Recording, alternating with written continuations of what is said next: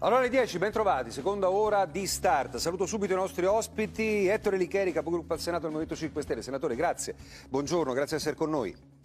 Grazie a voi, buongiorno, ben trovati. Eccoci qui, buongiorno. Ecco, voglio partire da qui, Licheri. Allora, due tipi di sforzo, quello diciamo tecnico, insomma, che il nostro paese sta compiendo per combattere il virus, dall'altra parte lo sforzo di trovare una strada condivisa.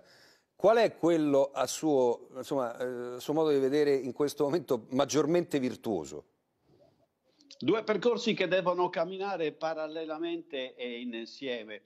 Ora non c'è dubbio che la frammentazione del, eh, eh della sanità in tanti servizi regionali eh, portato, è andata a detrimento dell'omologazione della strategia. Abbiamo visto tutti come sia tutto dannatamente più complicato se si va in ordine sparso, governatori contro sindaci, sindaci contro governatori e, e via discorrendo. È vero, eh, ci siamo mossi eh, senza avere una legge, una legislazione speciale per l'emergenza, abbiamo dovuto mutuare dalla legge sulla istitutiva sulla protezione civile e allo stesso tempo abbiamo avuto a che fare con un qualcosa che resta ancora oggi imprevedibile, nessuno di noi è in grado di sapere tra 15 giorni come sarà la, eh, la situazione. E allora davanti a un quadro di questo genere le istituzioni possono dare il proprio contributo. Come?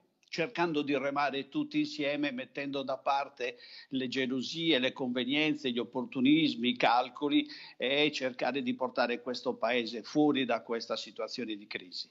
Eh, sui decreti di sicurezza, Licheri, come dire, ehm, sarebbe stato opportuno in qualche modo, insomma, uno slittamento o comunque ehm, tenerli diciamo, un pochino più avanti in quella che è l'agenda politica oppure no?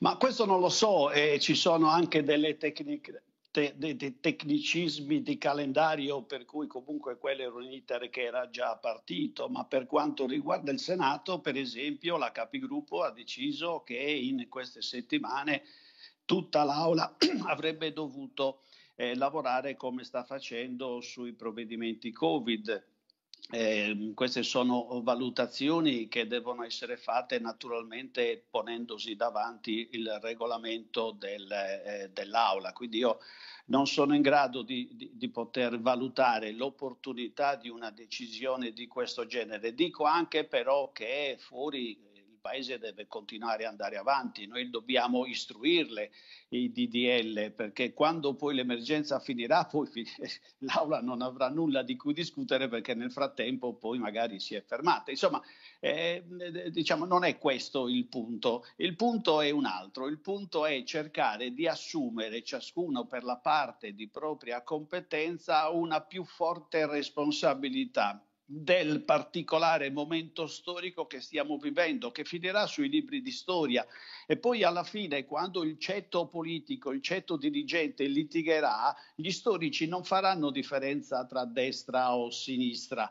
Eh, questo, di questo ne dobbiamo essere consapevoli. Quindi da una parte c'è non ci avete mai eh, coinvolto, dall'altra invece si dice no, vi abbiamo coinvolto tante volte, ricorderete gli stati generali a Villa Panfili quando si incominciò a stendere le direttrici del piano di rilancio e resilienza con tutte le componenti sociali e politiche, si disse che Villa Panfili non era la sede per poter eh, sedersi intorno a un tavolo. Io, no, io, non commento queste decisioni, eh. dico solo cancelliamo tutto, voltiamo pagina e cerchiamo di portare questo paese fuori dalla morsa di questa emergenza. La, la, ed è per questo che noi escludiamo, in questo momento ovviamente, la possibilità di un lockdown generale.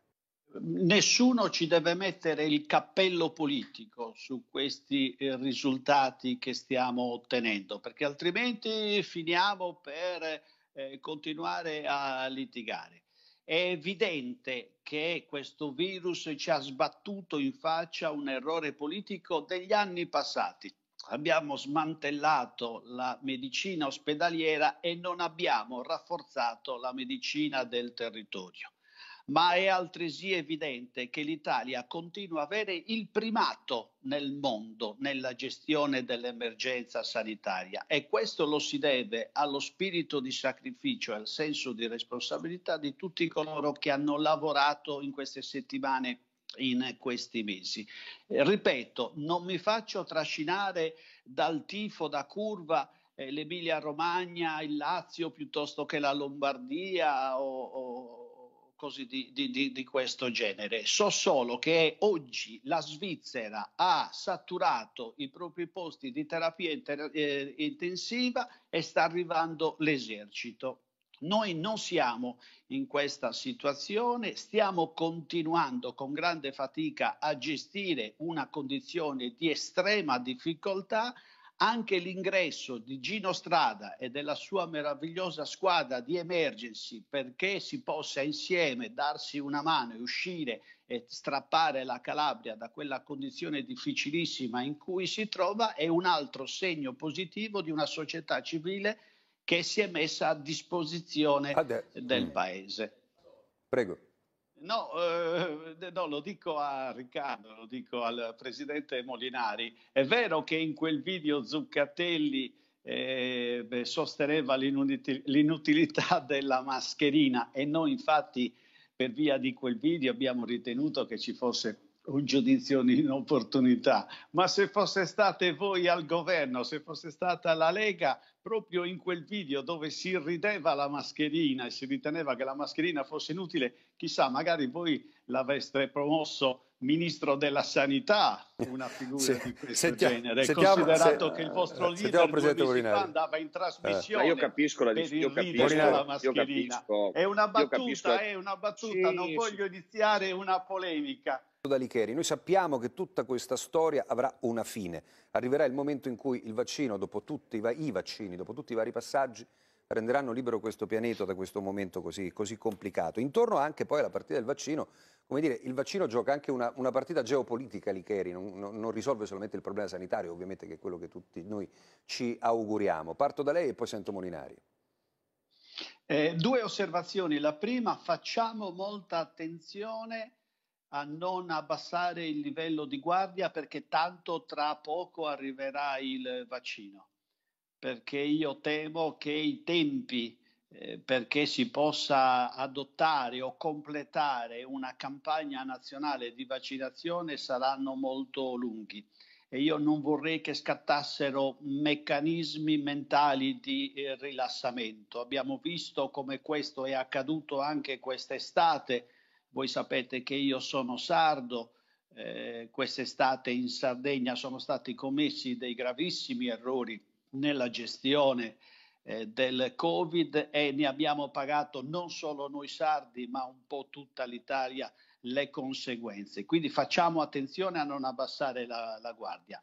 Per quanto poi concerne invece la campagna di vaccinazione, forse anche qui abbiamo scoperto come sia importante una gestione accentrata o comunque centralizzata eh, di, a, di, azioni sanitarie che devono riguardare l'Italia da nord, eh, da nord a sud, in maniera tale da evitare differenziazioni o comunque eh, delle distinzioni tra regione e regione, che pure anche nei vaccini ci sono stati. Ripeto, fuori da qualunque tipo di polemica. Elicheri.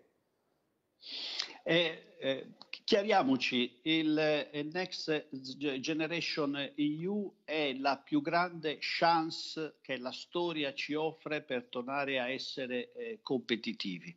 È stata studiata per il futuro delle nostre eh, nuove eh, generazioni. Il piano di eh, rilancio e resilienza deve essere presentato a gennaio tutti i Paesi membri dell'Unione Europea stanno avendo delle interlocuzioni per arrivare a, quel, eh, eh, a quella data là. Noi ci stiamo dentro. Poc'anzi ho citato gli stati generali a Villa Panfili. Ecco, in quella circostanza Giuseppe Conte cominciò a eh, eh, tracciare i clusters a- attraverso cui si sarebbe poi sviluppato il piano che è passato al Senato, è passato alla Camera, il Parlamento ha dato il proprio contributo e ci stiamo avvicinando a quel, eh, a quel risultato. Però, però l'Europa continua a portare dentro di sé una anomalia, cioè si considerano i valori della libertà e della democrazia come un optional da parte di alcuni paesi sovranisti, come sono stati citati da Riccardo Molinari, l'Ungheria e la Polonia che ritiene che la libertà e la democrazia applicata in uno Stato di diritto non abbia niente a che fare con la volontà di compartecipazione a una comunità europea. Sali Cheri, stamattina uno dei temi che abbiamo affrontato Lega... è stato proprio quello di Ungheria e Polonia, no? e si è detto ma perché esatto, allora, vedendola da un certo punto di vista, perché l'Unione Europea non espelle Ungheria e Polonia, esatto. qualcuno ha detto stamattina, ma perché non ha gli io... strumenti giuridici per farlo e perché eh. sarebbe un, un, grosso problema, insomma le implicazioni sarebbero, sarebbero straordinarie. E Licheri e poi torno a Ma sarebbe straordinariamente importante se gli amici della Lega e di Fratelli d'Italia che con eh, l'Ungheria e la Polonia eh, hanno questo rapporto di sostegno, di alleanza, di appoggio, di vicinanza, possano cercare di promuovere questo percorso di riavvicinamento di queste forze politiche a quegli ideali di democrazia indispensabili perché l'Europa possa avere un futuro di libertà. Mm.